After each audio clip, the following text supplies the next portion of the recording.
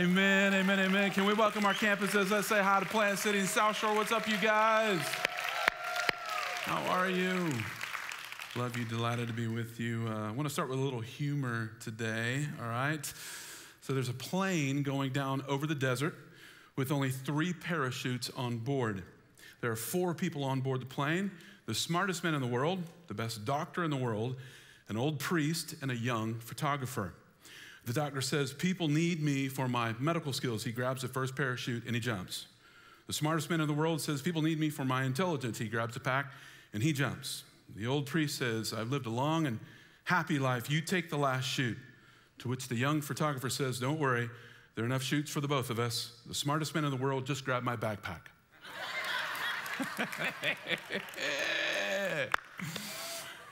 So sometimes we think we're reaching for the right thing and it just doesn't get us where we want to go. Amen? Amen. Let's pray. Father, we love you. Thank you for today. Thank you for today. We pray that you would do something supernatural inside of us. Teach us, show us, guide us, transform us. In Jesus' name, and all God's people said, Amen and amen and amen. So, we're in a new series called Open Hand. We've been talking about God accessing our hearts to move through our hands. We're talking about generosity. We've been talking about the tithe. That's that first tenth portion, okay, to enjoy God's blessing and his abundance. So we've been talking about that for a couple of weeks here. We're just kind of layering it in. You don't want to miss next week, all right? You, you really don't. Because anytime we talk about finance resource, we always want to address the fact that some people are struggling and we really do want to help. Can I get an amen, church? Amen. So, so, so listen, uh, the big one is always debt. It's always, always, always debt. And so we want to address that next week. We want to get you help. We want to talk about going beyond the tithe. All right, so we want to talk about the next steps, the, the, the, larger things. And then I want to talk about some vision items next week and ask you to join us in prayer. And we are not pledging, we're not driving, I'm not asking for resource, okay? I just, I want to show you some things and ask you to pray with us. There's some great things on the horizon for the church, and I would love for you to join, all right? So I ran across a book that I want to recommend to you. You're going to see it on the screen God and Money, Cortines and Baumer. And there are two young men, who, very bright young men, who went to Harvard. This is a 2014 book, so it's been just a little bit here. And uh, I'm going to be referring to it today some as we move forward. They were collaborating on a term project talking about charitable giving and generosity and so on. And they, they kind of stumbled into, their words, they stumbled into this amazing arena and it really changed their lives. Here is how they started. At the start of our time at Harvard Business School, not too shabby, all right, we each had plans to buy multi million dollar homes, accumulate fortunes for ourselves, not necessarily the right pack, right, church? Anybody? Bueller? Not necessarily the right pack. We think we're going for the right pack, and yes, perhaps give to our churches and sometimes charities along the way. John's online banking password was retire at 40.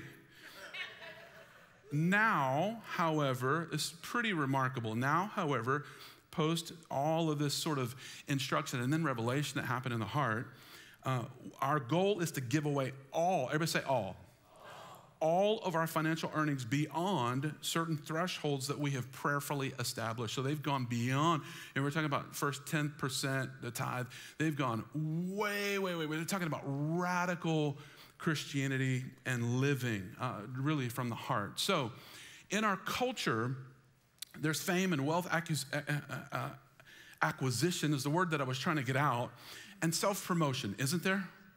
But there's also this incredible change that's taking place culturally, especially in young professionals that are saying something like this I don't want all the pomp and circumstance.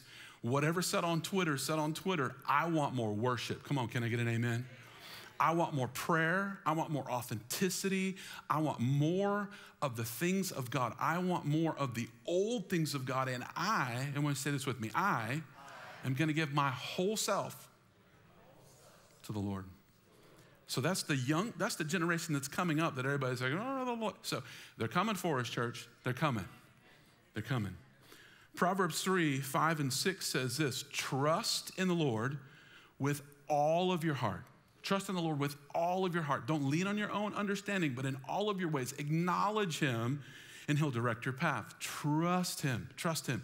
And then the verse goes on and says to honor him with the first of the first portion of your wealth, and he'll fill your barns and overflow your vats. That means bank accounts and so on here. All right, the promise is right there. So, years ago, 11, 12 years ago, when I talked about the tithe, I would bring my son out. He's 17, so he was five, six at the time, and I would put a full size ladder on stage, like a full size, big, big ladder. And I would have him climb up on the ladder, and then I would say, Come on, jump, jump to me, all right? And uh, it was very dramatic. I had to stop doing the illustration because the seasoned saints in the house would not have it any longer. they were just, I had people come up to me and just say, Look, I can't take it. My heart can't take it. He's, he's on top of the ladder. He's five, he's six. And, and the little guy, man, he, do you understand that God is asking us for faith like a child? So he would stand on this six foot ladder and he would just squat. I mean, everything he had, he would just squat and just leap. And of course, dad was there to catch him. Um, one time he jumped and he jumped so hard he almost knocked the ladder over. And that's the time that I had people like, oh no, you'll never do that again, Pastor. You, are you, done. And I'm like, okay, I, I, I get it. The point is this it takes real courage to let go of where we are to go to where God's calling us to be. It takes real, I mean, it takes guts, it takes real courage and have trust that you're not leaping to nothing, you're leaping to someone. Come on, can I get an amen? You're literally leaping to the open arms of your Heavenly Father. So, when we talk about the tithe, every single one of us, and I believe this, I truly believe this in my heart, I really do. Every person that's listening to the message right now wants to be generous. I believe that. Come on, can I get an amen, church? Seriously, seriously. Every person wants to be generous. They want to be gracious. They want to help. They want to serve. They want to open their hearts to the Lord. There's this thing, though, there's this belief that we just don't feel like we can we can't make the two ends meet. There's too much month for our money, right? We just can't get it done. And so we're saying, there's just, I would love to, there's just no possibility to do that. And that is called a scarcity mentality. It's a, it's a mind, heart, mind, will, and emotion. It's a scarcity mentality, okay? And what God wants for us is something that's uh, much greater, expansive. So here's what I want to do. All right. Uh, I want you to take your hands and, and, just humor me a couple times today. All right. Take your hands like this, and I want you to just squeeze. All right. Begin to squeeze. And I want you to hold it for a while. Don't squeeze and let go. Hold it. And I want you to squeeze this as hard as you can. Don't rupture anything, okay? In the name of Jesus. Don't squeeze, squeeze, squeeze, squeeze, squeeze. You can feel the blood leaving your hands. It's being redirected, okay? This is what stress feels like. This is what pressure feels like. Come on, are you still with me? Hang in there. This is, this is what scarcity feels like. All right, now on the count of three, I'm going to count to three, and I want you to just open your hands nice and slow. One, two, three. Take a deep breath with me. Okay. All right, that's what fullness feels like. That's what flow feels like, open handedness. You feel the blood coming back into your hands? You feel it? And so this is what open this is what freedom feels like. This is what grace, come on somebody, smile with me. This is what grace feels like. Open handedness is the opposite of scarcity mentality. It, it, it's the opposite, all right? It's abundance. Everybody say abundance. It's abundance. But we have to trust in order to open our hands because we're always positioning thinking something's going to be taken from us. I want you to know God's not trying to take something from you, He's trying to get something to you. Amen? He's trying to get something to you. Some of you are still, I see in the congregation, you're still going like this. All right, let grace arrive. So we don't have the same worries. All of us don't have the same worries, but all of us feel like resourcing and finances and job are, are number one. They're the first thing, they're the first stressors. So they're the things that cause us to just, man, when, and our health and the health of our children, so on and so forth. Amen. You got it. So we just, it gets so difficult to have an open hand and have grace and freedom. So when I first started tithing, when me and Tamara first started tithing, it was over 30 years ago, I would pray something like this I'm pretty certain this is gonna fail. you guys with me? Like I, I, I was just starting out. I'm pretty certain this is gonna fail, and I'm gonna feel like a fool, or I'm gonna make a fool of myself. Can anybody identify? I feel like I'm being tricked somehow. This, this is weirdness to me. I came to the Lord late in life. I mean, I came to the Lord in college. I was a junior in college. And everything that I heard about the church was there after your, come on, say it again. Okay. And so the whole, like, we get it, we understand. So everything, and, and I would say to the Lord something like this, brand new uh, praying, I'd say, You know we can't do this. You ever had those conversations with the Lord? Like, you know everything and you know what's in the checking account, you know what. And so the very first time we tithe, we actually were really in a tough spot. We had $12. We tithe, you know, a dollar 20. And, and if you tithe less than that for your first time, come tell me and we'll humble ourselves together, okay? In the name of Jesus. The first tithe, a dollar 20. And somehow at the end of that month, we had $120 exactly more than all of our bills. Somehow. Can I get an amen for that? Come on, you guys. Okay, so 30 years, 30 years, God is faithful all the time, every time. And I just want to hear from you, Christians, isn't He? Isn't He? God is faithful every time, all the time. I want to say this it's not always the way we think it is. And it's always, and, but it's always right there in that hour when we need it the most. God is very, very creative. I talked about that last week. You can go and look at that. So, all of us need safety and security. We all need safety. We all need security. We're all designed for it. But the Bible warns us of misguided dependence, just dependence on things that are not Him. We're going for what we think is going to be the parachute. It's just the wrong thing. It's the wrong thing. So we want to provide for our families. Everybody does. All right. Scripture in 1 Timothy 5 8 says that. Uh, by the way, on the app, you can get all the notes. And I know I'm cruising. Okay. We want to ensure safety and support for our children. The Bible says that a wise man, a godly person, leaves inheritance for their children's children. All right, that is wisdom. It's awesome. We want to save, we want to earn, uh, standard living, all of those things. But the Bible also says in Proverbs 20 21, inheritance gained hastily leads to ruin. Listen to the stat. According to Money Magazine article, 70% of wealthy families, 70%, lose their wealth by the second generation. And 90% of them lose their wealth by the third generation. So the moral of the story is they need to work for what they get. Come on, can I get an amen? All the young people in the house, you guys are like, no, not amen. We're saying yes, amen. Because if you don't understand where it comes from, you can't appreciate it and honor God. You can't. It's just impossible to do when you think everything looks like this.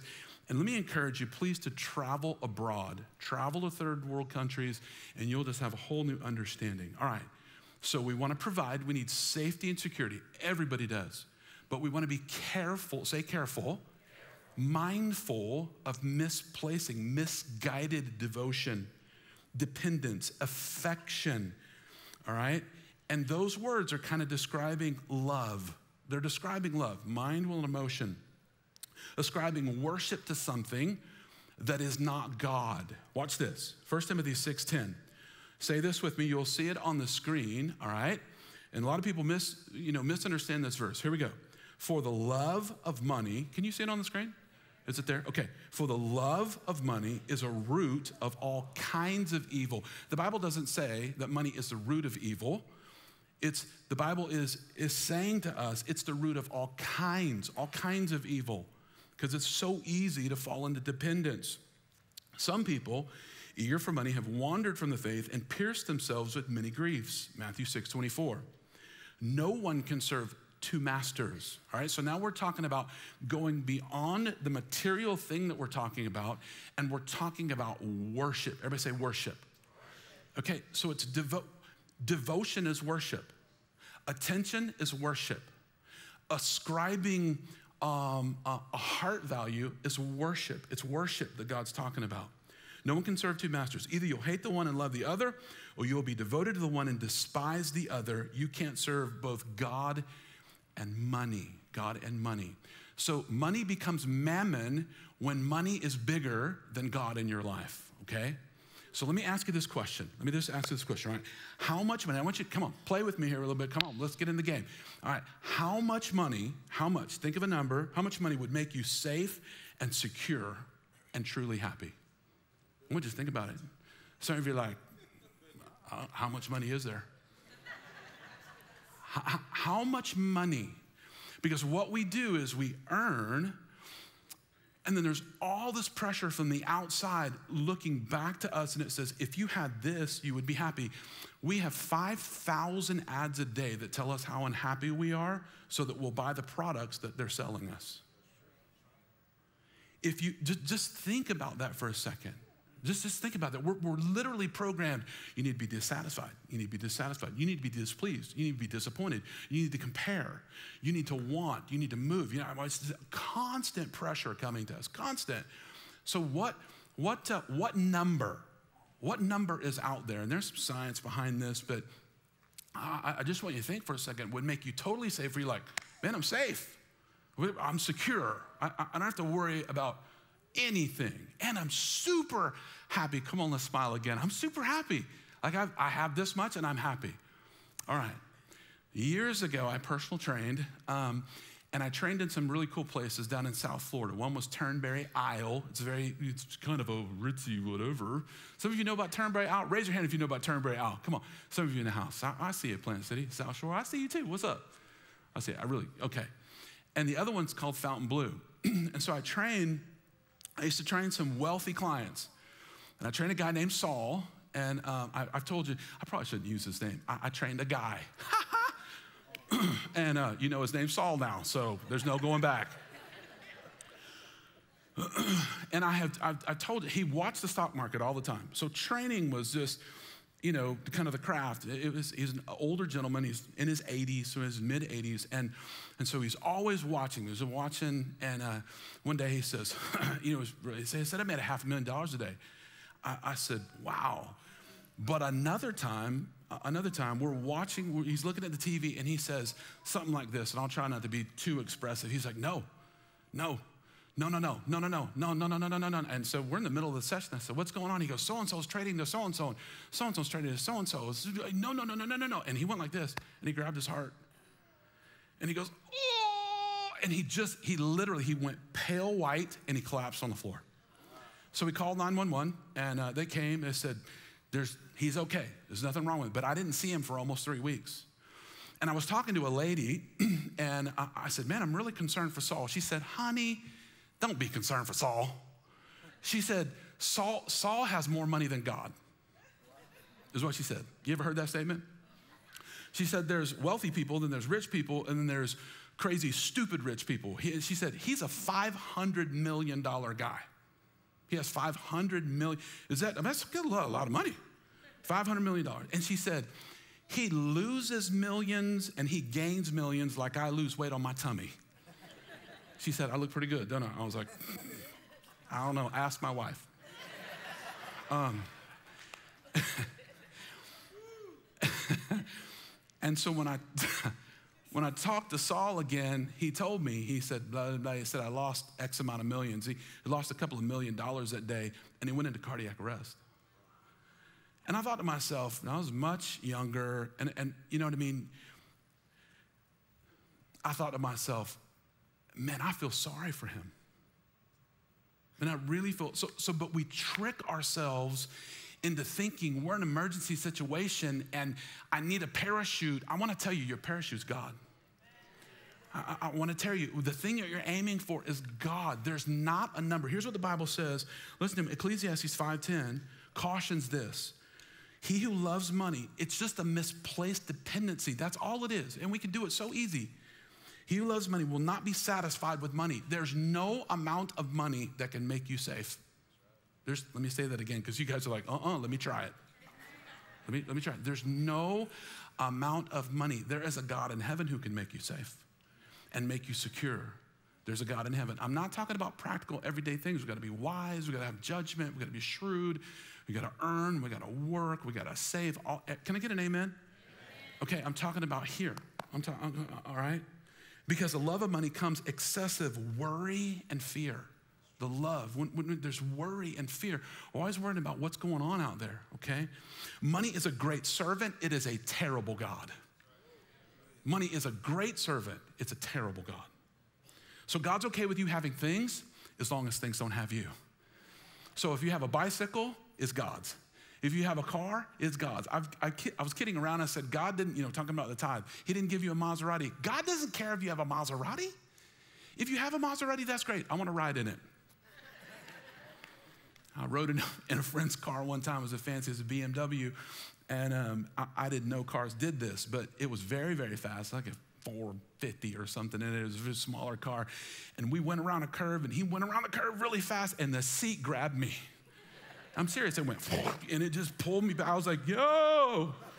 I said, is the rapture happening? I didn't know what was going on. God does not care if you have a house. Does God have your house? If you have an airplane, does God have your air? He's not concerned with the things you have, He's concerned with the things that you have having you. So let me say this again. Anything that you own that God doesn't completely own still owns you. Can I say that one more time? okay? Because I'm, I'm, I'm, going, I'm New York speed today. Anything that you own that God doesn't completely own, that means anything, at any moment, God can say, I need you to do that with this. I need you to use, we've got friends, we've just got friends who they have stuff, but their stuff is just like this. I'm gonna use whatever this is for God. It's the most beautiful thing in the world. This is God's. Anything that you own that God doesn't completely own still owns you. So he's concerned about that thing. All right, so we want happiness. And sometimes I think about the word happiness. I'm like, oh, I don't want to say happy. But it's, it's a good word. God wants us to be happy. Amen? Okay, I'm going to read for a little bit um, some excerpts from the book, and I want you to just kind of stay with me, okay? Stay with me. I'm to I'm to keep, keep cruising. Giving for most people feels like it belongs in the second category of activities, something you do out of obligation. Or everybody go, Wah. Okay, you guys did great with that. That was awesome. And, you know, it's, it's kind of an obligation to help society get along or to help or to be a good person or whatever it is. We have an idea that it's a duty to give. Suck it up and kind of do our part. Okay, kind of. Unfortunately, there's no joy in the mindset. There's no joy in that mindset. And God says, I love a what? A cheerful giver. Why? Because it comes from right here. God doesn't care about zeros, He cares about this. He does. He really does. All right? Without the right heart, all we have is behavior modification. So, listen to this, and, and, I, am not trying to out anybody. If you're brand new or you've struggled giving or whatever, I'm not, this is not an indictment. I'm gonna, I'm gonna give you the information. I hope, oh, can we just pray right now there'd be a heart change right now in the name of Jesus? Can we do that? Listen to me. Six out of seven Americans, American families, give less than 2% of their income. If the Christian church in America gave 10%, we could. Do you ever sit back and think, man, look at the outside agendas that are going on in this world and how well funded they are? You ever think that?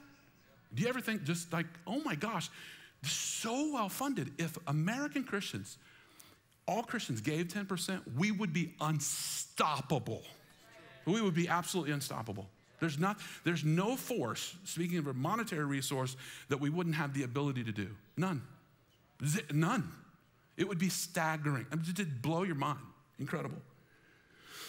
If giving isn't a structured part of your life, then it ends up being sort of like throwing up like a Hail Mary, uh, sort of in the karma atmosphere. Everybody with me? Right? It's like buying a cake uh, for a bake sale for kids or writing a $50 check for, uh, you know, peer pressure, something crazy. But if we truly understood that stinginess could kill us, as quickly and silently as smoking a pack a day. I mean, do you remember when smoking was cool, you guys? Do you remember? Media told us that smoking was cool, so we all smoked. And then somebody got a conscience, and media told us smoking was bad, so we stopped. Crazy. Crazy. Generosity is just as healthy and gives you as much of an energy rush as going for a daily jog. Let me give you some stuff. The actual science, like the science, when you read this book, God and Money, read it, uh, I really recommend it, is staggering. Science of Generosity Project out of Notre Dame is where it comes from. In particular, the paradox of generosity for Christians by Smith and uh, Hilary Davidson. All right, so it's the resource. This is the weirdest thing you could ever encounter, okay? the more we have, the more we have as Americans, the more you get past like 150,000, 250,000, 300,000, 400,000, half a million, million, the more we have, this says, this sort of paradox, the more we have, the more we become like Gollum. Precious. You guys remember Gollum? This is what the study says. It says the more we have, the less we give. Because the more obsessed we are with what we have. And so when you read about the paradox, there's just this weird thing. It says that there's just, so watch this, there's more entitlement right? Entitlement goes way up. Empathy. Empathy means that you're able to stand in somebody else's shoes. Empathy goes way down, and compassion goes way down. And in the study, the people that they studied, over 2,000 people in the study, they were even willing to steal from children. Come on, somebody, that's us. Sorry, not us. I didn't mean us. I didn't mean us, us. I just mean the other Americans. So, when, when, so first of all, giving is good for you. Come on, amen. Listen to me, the actual science, the science itself. So if you're new, okay, the science is good. It's really good for you. Intentional, regular practice of generosity have been associated with the release of a slew of good chemicals oxytocin, dopamine, and various endorphins. Those chemicals are the same ones released after a hard workout. Can I get an amen? What's up? Or after a particularly pleasurable experience. I'll skip right over that one. Some of you are just getting it. We're in church. I love you. In fact, generosity is strongly and clearly associated with a sense of purpose in life, personal happiness, and overall personal health. Giving, as it turns out, lifts up the human health as much as heart medicine protect, protects the heart. Incredible. Finally, giving activates the same portion of the brain that lights up when winning the lottery. That's crazy.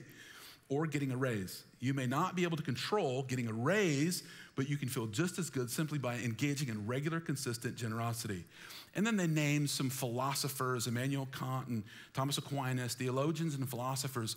And when you read the book, especially if you're coming from kind of a, you're kind of like, ah, I'm, I'm a little skeptical. When you read what secular atheists and then theologians in history talk about the principles of giving, you can kind of lean in and say, you know what? I think God knows what he's talking about.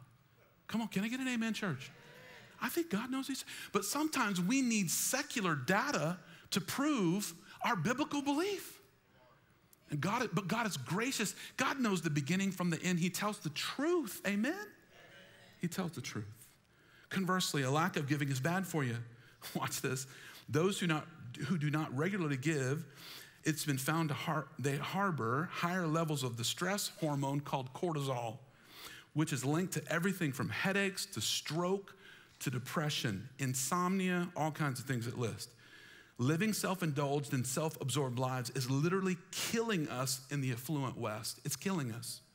As the author puts it, Americans who don't, don't give away 10% of their income run the significant risk of ending up less happy than they might have otherwise been. In fact, as a group, they're much, much, much, much less happier. So, here, let me round this out. Whatever is thought to be lost by Americans who give 10% of their income is offset by the greater likelihood of being happier in life. Come on, somebody, watch this.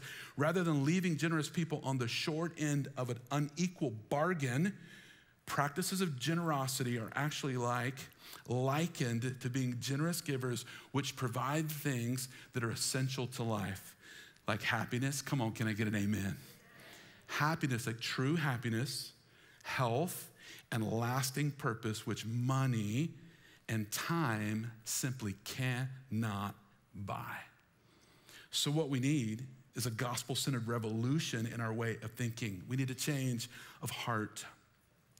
The only words, the only words that are in, not in all four of the gospels, they're in the book of Acts, but not in the gospels, Acts chapter 20, verse 35.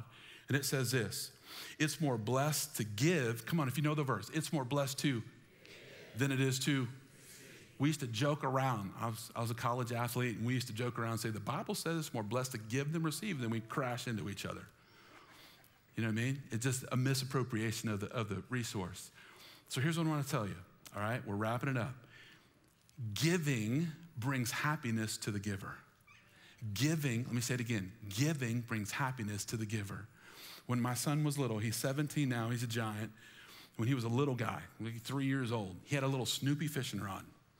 And I would take him out to the little pond that was behind our house, and we used to feed the fish. We would feed the, the small fish, and then the bass would come eat the small fish. And he has a little Snoopy rod. You remember Snoopy rod? And we would put bread, just a little bread ball on it. And these giant, I mean, over three years, these fish got giant. And I'll never forget taking him out there, putting a bread ball on. He cast it kind of go like this, and cast it out there. And his line just went, his little Snoopy rod's about to explode. It's just a giant bass. And his little energy, he was just like, ha, he was so happy. So he's looking at me and he's holding the line. I'm thinking, it's going to break any time. The bass goes all the way to the middle of the lake and then it stops and he reeled it in. Here's a picture of it. Would you check it out? Okay, so, so, yeah, yeah. You guys are like, oh, you mean a big bass? Yeah. So here, here's what I want to tell you that motivation is, is like it's like me giving. It's like us giving. It brings when you give. Come on, somebody. Can I get an amen? When you give and you see the joy happening out here, it brings joy back to here. It literally, it literally brings joy and happiness to the inside of you. And so the motivation then is to go back to that place as human beings and to give and to give. And I want to tell you, you can't outgive God. There's no way you can't outgive Him. One day we were uh, out in the streets of Tampa and we were blessing people and praying for them. And uh, we, we found a, a, man who was homeless. He didn't have a home. And uh, we said, We're going to help you today. And we did a few things. And he literally broke out. He said, he said, Hey, can I sing you guys a song? I said, I mean, I guess so. He said, Can you record it? We said, Yeah. And I don't have the recording. Man, we looked and looked and looked. He said, Get your phone out. And he freestyled an entire song for the Crossing Church. He literally just went. I mean, I was like, this dude is crazy talented. And it affected me for an entire week. It affected me, the, the joy that raised up inside of me for a week, and the tens of thousands of people that are ministered to at the crossing, and marriages, and homes, and children, and the things that happen. Giving, come on, say, giving, giving. Makes, the giver makes the giver happy. Amen.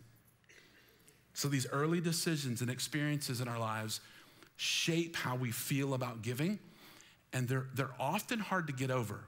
I was praying with a gentleman in our church, and uh, he was an elder. He wasn't formally an elder. He was, he was kind of that kind of guy. He was, he was, a, he was a necessary gentleman who had means, okay? And as I started talking to him about the tithe, he literally, church, he literally broke down in tears, shaking. He described an experience he had with his father where there was lack. There was just a, there was just a gap. It was missing.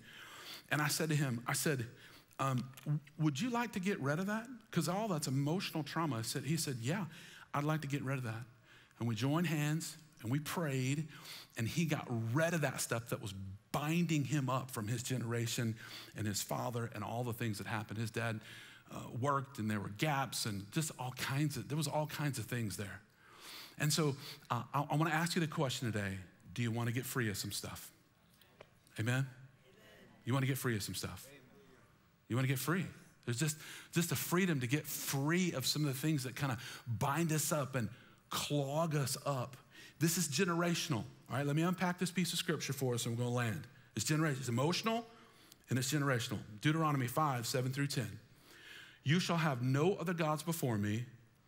You shall not make for yourself an image in the form of anything in heaven above, on the earth beneath, or in the waters below. All right. So if you go to places like India, the, it says that it's the land of 10,000 gods or the land of a thousand gods. So you're going to see uh, the sun god, the moon god, all kinds of animals, and then men with symbols. You'll see all kinds of men, statues, women, and symbols as well. This is the land of a thousand gods. Okay, you shall not bow down to them or worship them, for I, the Lord your God, am a jealous God. This is super misunderstood, super misunderstood. Uh, a long time ago, I listened to Oprah Win- Winfrey, and she said, I stopped being a Christian because God said he was a jealous God. Let me explain this, okay? I want to tell you what it is punishing the children for the sins of the parents to the third and the fourth generation of those who hate me. Super strong language. 10. But showing love to a thousand generations of those who love me and keep my commands. Here's what God is saying. All right. I, God says, I, I'm jealous for you. I jealously guard you. Come on, mamas in the house. Do you, are you jealous of your kids? So here's what God says I love you so much, I won't let you get near somebody who's gonna hurt you. That's what God's saying. He's jealous. I am, I am, I'm so jealous. And the implication, all right, I'm gonna try to be careful with my words. The implication is some predator trying to find your kids to hurt them. Now, mamas are like, mm-mm, sucker, right? No, no, no, no, no, no, no, no. That's what this is talking about. And here's what God says. Now listen, because when you give yourself to them, whatever this God is, to worship and obey them, the God that you worship becomes the God that you serve. And it actually pulls you into bondage, a kind of slavery when you ascribe worship. And then God says this, and so that happens to the third and the fourth generation. That because we'd say, uh, God, I don't know, I don't know if you're true, I don't know if you're there. And then we accidentally misascribe our worship and we end up enslaved to something that we didn't mean to be enslaved to. And then that's passed down fear, right? Just stress, worry, that fear, it passes down to the third and the fourth generation. Listen, here's the great news. Listen, but God says, when you come to worship me, I break it all. Come on, I break every bit of that. I break it all. I break it to a thousand generations. To a thousand generations. So God, God isn't saying, I'm counting generations. God's saying, when you make a decision, I break the curse. And there's not a thousand gods that can keep you from worshiping me. There's not. I, I've come for you. I love you. I want you. I desire you. So in India, we found this coin. It's called the Satavana or a Satavahana. Sounds a little bit like a dirty word. Satavahana. And it's, glad you guys, well, that's good. Okay, so it's an inscription of, the, of a coin that represented a king. And so the description that happened in India was a man, he had the coin, he was a king. And they said, the long explanation, they said, that's the inscription of a human being where there's ascribed like honor and all those things. They said, but they said, the real thing is that there are deities, spirits, behind the personalities that are seen internationally. So, and, and that term was one of the first inscriptions in India. Okay, I'm not gonna, I'll, I'll, I'll let you pronounce it next time. Sadavahana. Okay, now look at our money. What does it say on our coins? What does it say on our bills? Why is it there? Because it's so easy to make that a God. Did you hear, you what I'm saying? So, so the founders of our nation knew and they understood. No nation in the history of the world has been more prosperous than our nation. None. There's not a single one. Babylon, the great Roman empires, the Greek empires, there's not a single nation on the planet that's been more prosperous than us. But what's behind, it's not the, it's not the build that we're worried about. It's the thing behind the thing that could get us to do this, is to put our knee down to something that's not God. Are you with me? Okay.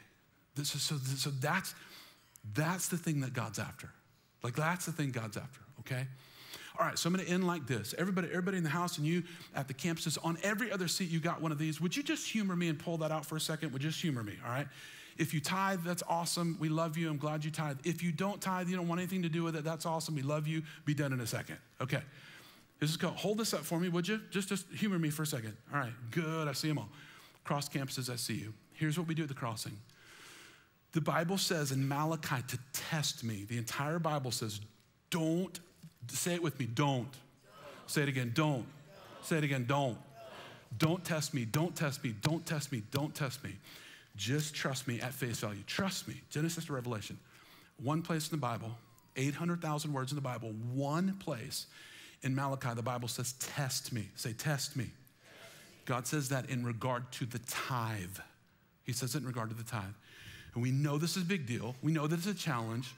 But we're saying together, just fill, fill this out and decide from here. Just decide, I'm gonna tithe. Give it 90 days March, April, and May. And at the end of that time period, listen, if you don't see supernatural results, then we'll just give you back the tithe resource, okay? So this is a no, this is a no fail. This is an open book test, you guys, amen? It's open book, all right?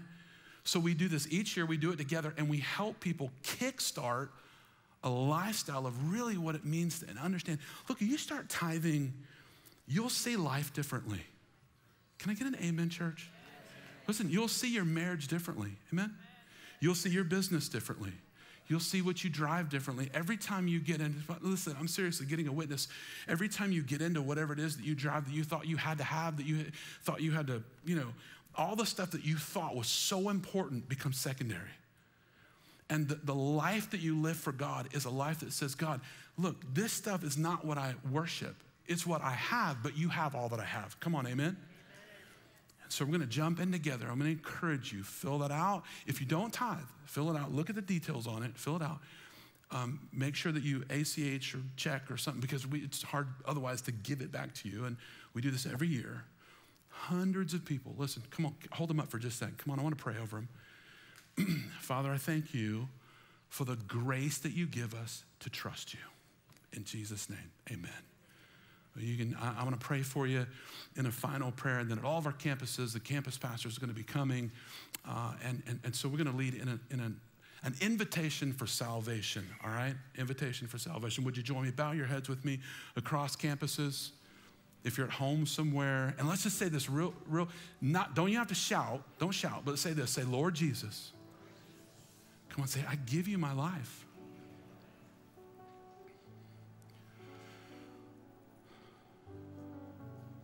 Tell me, You know I've sinned.